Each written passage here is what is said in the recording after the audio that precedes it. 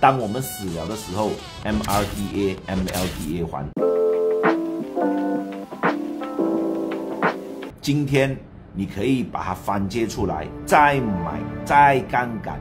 从在这一边的买再杠杆的话，你可以把它这一个钱分两条路，就是一个来顶风险的，一个是拿来出息的。所以这两样东西呢，我们就可以拿来用。然后过后呢，翻借了又再翻借，然后过后怎么样呢？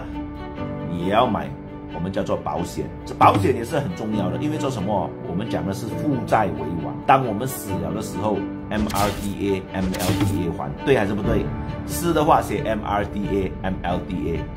这样当我们死了的时候，保险还完的话，这样周末刚开始的时候，在三十五岁买这个三百一十五千，你想要供完它呢？